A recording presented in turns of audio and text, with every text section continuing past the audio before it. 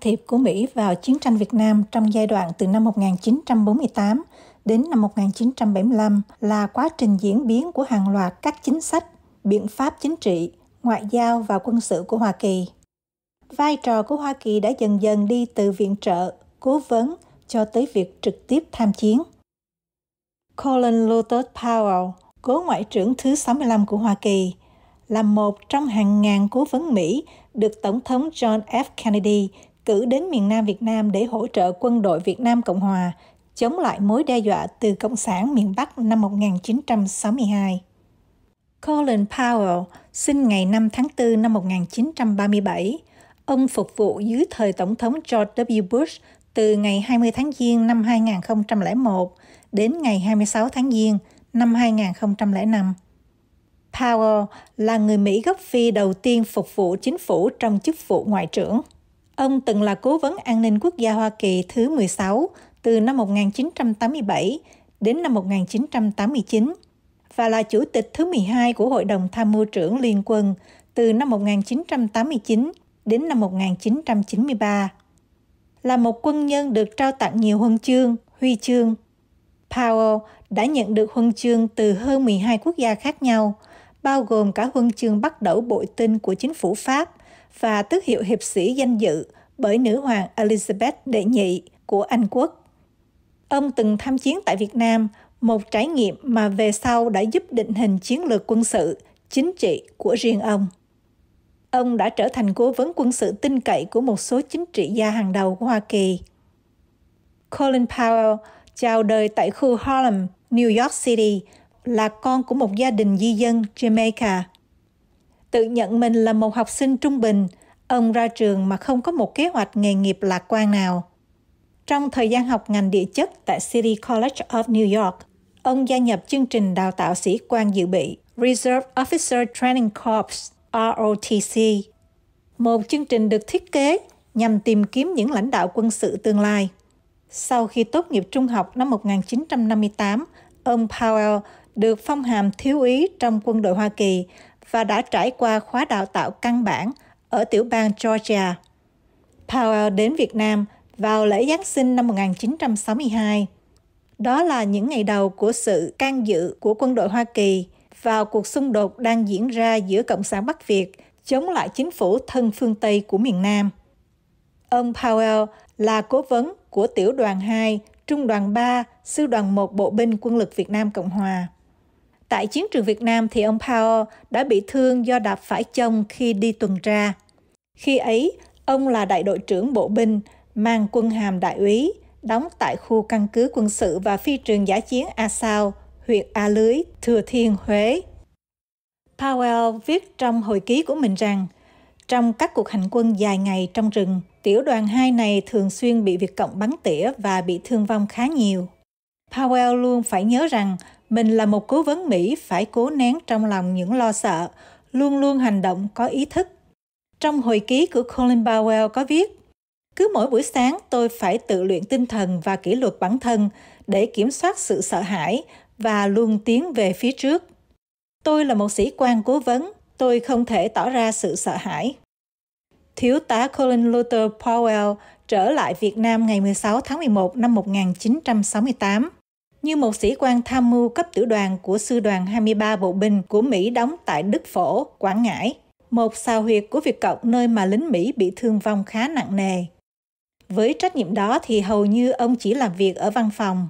Nhưng một hôm Powell đang đi trực thăng cùng với sĩ quan chỉ huy của mình, Thiếu tướng Charles Geddes, để thị sát một trại lính Bắc Việt vừa chiếm được.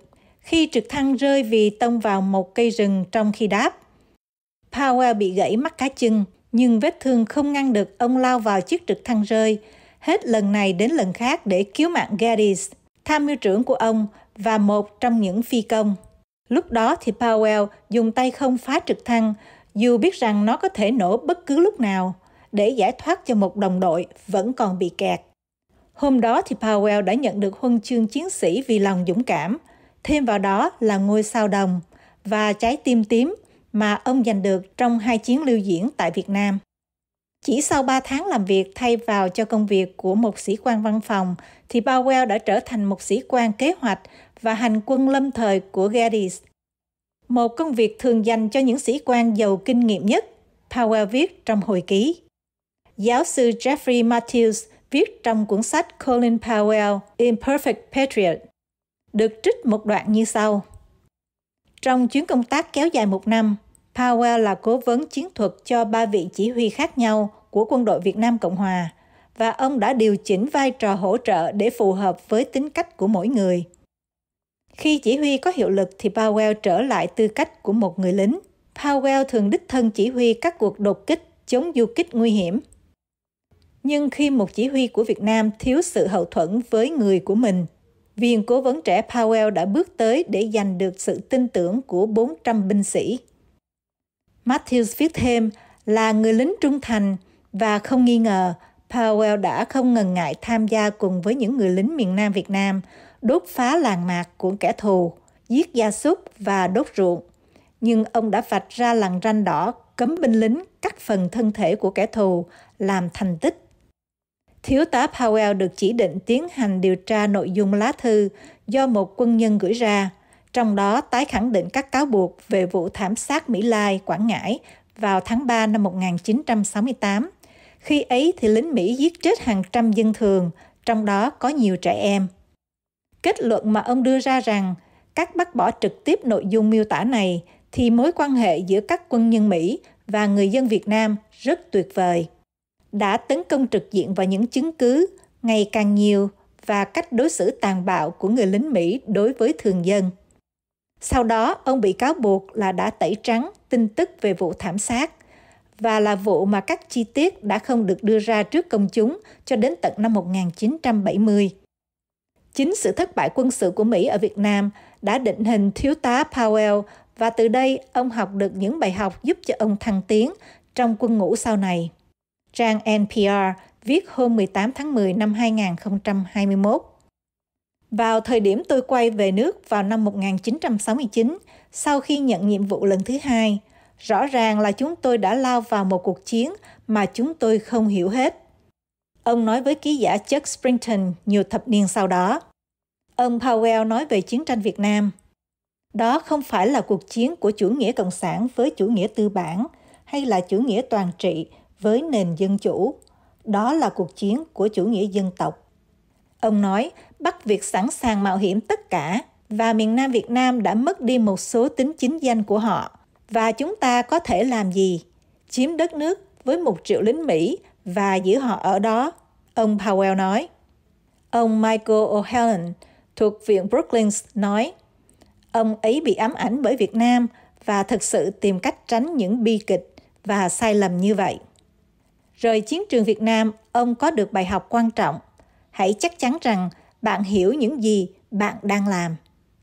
Tất cả những kinh nghiệm chiến trường mà ông đúc kết thành học thuyết Powell mà đại tá quân đội nghỉ hưu Peter Mansour, một giáo sư tại Đại học tiểu bang Ohio, gọi là một trong những di sản mạnh mẽ hơn của ông Powell. Là một cựu binh tham gia chiến tranh Việt Nam, với thành tích cống hiến trong 35 năm quân đội Mỹ, ông Powell được thăng lên cấp tướng 4 sao trước khi trở thành chủ tịch da màu đầu tiên của Hội đồng Tham mưu trưởng Liên quân Hoa Kỳ. Ông lãnh đạo quân đội Mỹ trong chiến tranh vùng vịnh năm 1991 tại Iraq dưới thời cố Tổng thống George H.W. Bush. Ông rời quân ngũ năm 1993, dành thời gian viết tiểu sử đời của mình. Cuốn sách đứng đầu danh mục các tác phẩm ăn khách nhất của New York Times và tham gia hoạt động thiện nguyện. Không còn theo đuổi các nghĩa vụ quân sự, ông bắt đầu quan tâm tới hoạt động chính trị. Được người của hai đảng ngưỡng mộ, ông được chào mời tham gia liên danh tranh cử ở vị trí phó tổng thống từ các ứng cử viên Dân Chủ và Cộng Hòa. Vào năm 1995 thì ông tuyên bố bản thân mình là một người Cộng Hòa. Dưới thời chính quyền của Tổng thống George W. Bush vào năm 2001, ông giữ chức ngoại trưởng, trở thành người da màu đầu tiên đại diện cho chính phủ Hoa Kỳ trên thế giới. Ông qua đời ngày 18 tháng 10 năm 2021 ở tuổi 84 do COVID-19 và là một trong những người Mỹ nổi bật nhất bị đại dịch quật ngã. Tướng Colin Powell là một chiến lược gia thiên tài, một nhà chiến thuật quân sự mưu lược. Ông ra đi để lại nhiều di sản quý báu, hào hùng cho quân đội, đất nước và người dân Mỹ. Riêng đối với Việt Nam, ông vừa là một chiến binh can trường, một người bạn, một cố vấn tận tâm và là một nhà ngoại giao đảm lược. Chúng tôi chân thành tưởng nhớ tới tướng Colin Powell phục vụ tại chiến trường Việt Nam hai lần để bảo vệ tự do dân chủ cho người dân Việt Nam.